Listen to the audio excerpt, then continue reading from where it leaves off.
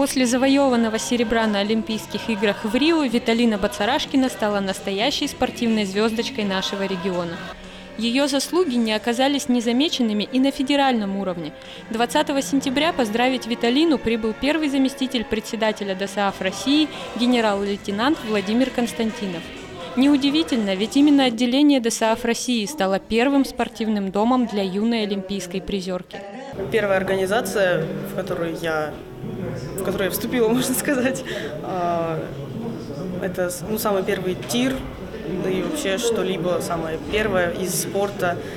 И я надеюсь, что продолжит это все развиваться. Это как минимум, когда дети, ну, ну не маленькие можно их назвать, хоть и 12 лет, но все равно это еще ребенок, они приходят и видят эту всю обстановку, и, не знаю, некоторым, мне кажется, не хочется туда возвращаться.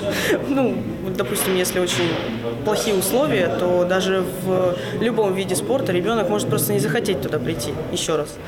И я надеюсь, что у нас будут созданы условия для тренировок, что дети сами туда хотели, бежали на всех парах после школы тренироваться.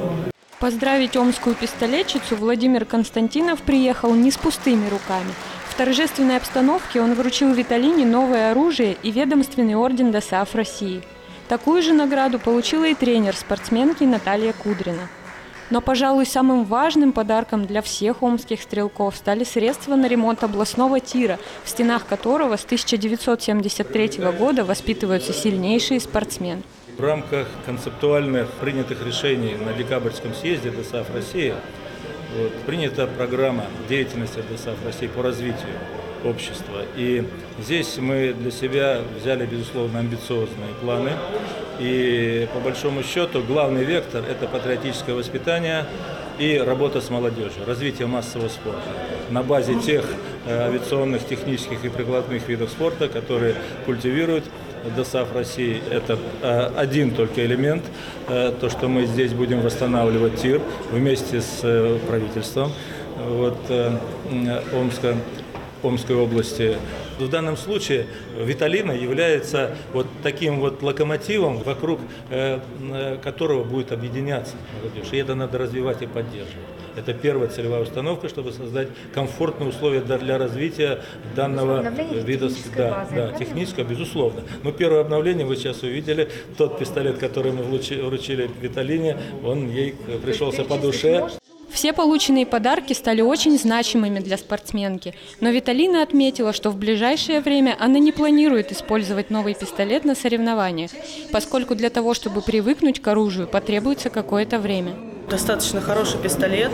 А, надеюсь, он прослужит э, как минимум 5 лет и даже больше. Подарок как-то будет задействован в ближайшее время? Пока что нет. К пистолету нужно привыкать, и это не за один день делается. Тем более нужно делать рукоятку, а рукоятка это тоже непросто.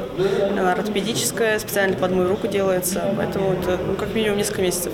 А пока Виталина продолжает завоевывать высокие награды и титулы. Она стала абсолютной чемпионкой России, получив три золота в стрелковых дисциплинах на командном чемпионате России по стрельбе из пневматического оружия и всероссийских соревнованиях по стрельбе из малокалиберного оружия.